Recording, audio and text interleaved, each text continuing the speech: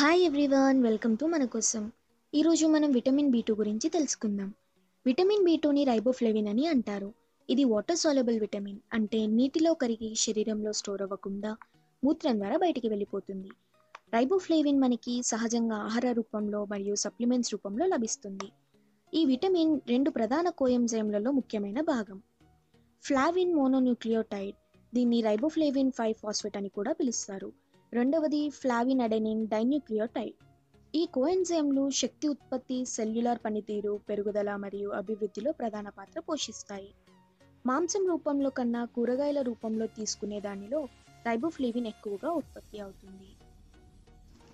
Vitamin B two పుష్కలంగా లభించే ఆహార పదార్థాలు గుడ్లు ఆకుకూరలు చిక్కుళ్ళు పాల పదార్థాలు నట్స్ మరియు బ్రొక్కోలి. కొన్ని ఆహార పదార్థాలను రైబోఫ్లేవిన్తో ఫార్టిఫై చేస్తారు. రైబోఫ్లేవిన్తో కూడిన ఆహారాలు కాంతికి గురయ్యే స్పష్టమైన కంటైనర్లలో నిల్వ చేయకూడదు. ఎందుకంటే కాంతి వల్ల రైబోఫ్లేవిన్ కంటెంట్ను కోల్పోతుంది. మన శరీరం ఇరవై ఏడు మిల్లీగ్రాముల కన్నా ఎక్కువ రైబోఫ్లేవిన్ని గ్రహించలేదు. విటమిన్ బి టూ వల్ల కలిగే ప్రయోజనాలు చూద్దాం.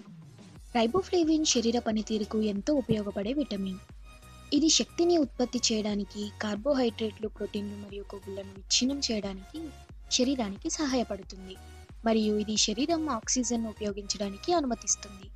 రైబోఫ్లేవిన్ చర్మం అభివృద్ధి మరియు పనితీరు జీర్ణ వ్యవస్థ రక్త కణాలు మరియు ఇతర ముఖ్యమైన అవయవాల యొక్క లైనింగ్ కోసం కూడా ఉపయోగించబడుతుంది.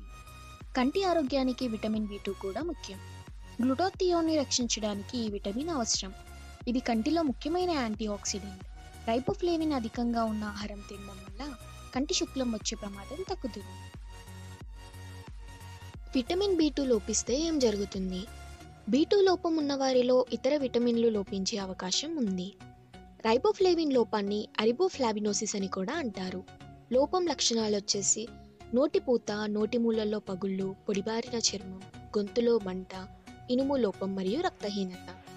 అదే శరీరంలో విటమిన్ బి టూ ఎక్కువైతే ఆహార రూపంలో మరియు సప్లిమెంట్స్ రూపంలో తీసుకోవడం వల్ల రైబోఫ్లేవిన్ విషస్థాయిలు చేరుకునే అవకాశం లేదు. గట్ ఒక సమయంలో పరిమిత మొత్తంలో రైబోఫ్లేవిన్ని మాత్రమే గ్రహించగలదు మరియు అదనం మూత్రం ద్వారా విసర్జించబడుతుంది. అందువల్ల రైబోఫ్లేవిన్కు అధిక స్థాయి ఇవ్వబడలేదు.